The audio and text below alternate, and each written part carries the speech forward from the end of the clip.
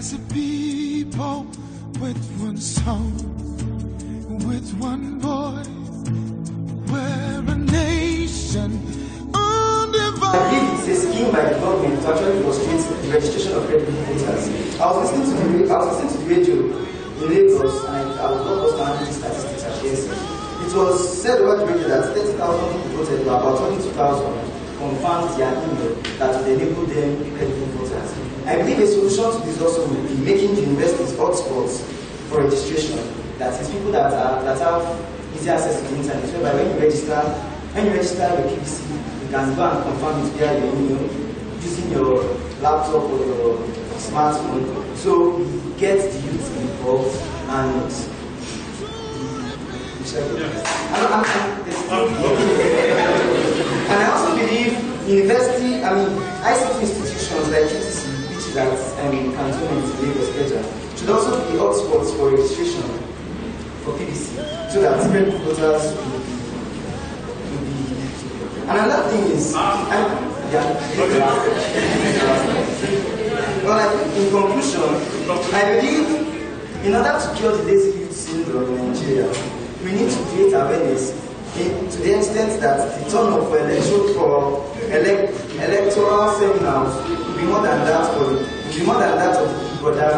other Nigerians know because of the discover that leaders in the country actually decide to sideline the youth in order for them to do as to do away with their destinies.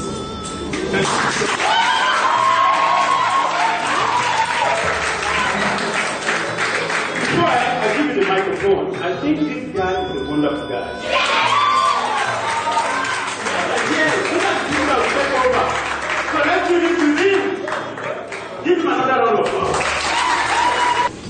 Yorùbá yóò and I quote kí ni for what happen when their horse is not even leading us to the right way.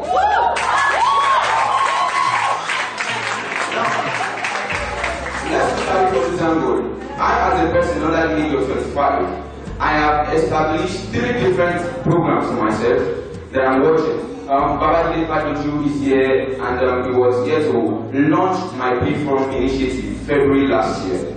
Aside that, I've been able to start more than with help for others, assist them to begin or um, start something for themselves doing. That's what I do for a living as a student. But what happens when I discover that others are here as leaders that lose money? The first thing that I ask myself is why can't I loot since they are losing? Is it not right? Of course. Now, you see someone else that is piling up money for children that are yet unborn, and you ask yourself as you, why am I working this hard when I can actually get it on a block of gold? True, of course. Now, these are problems we have as youth. Now, listen, it's not like we youth are not trying our best.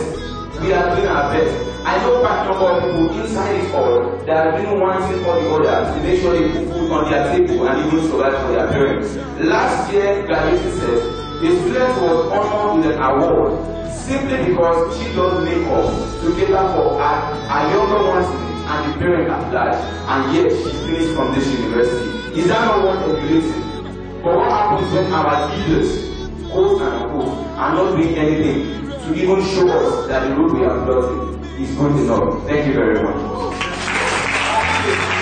The Circle Studio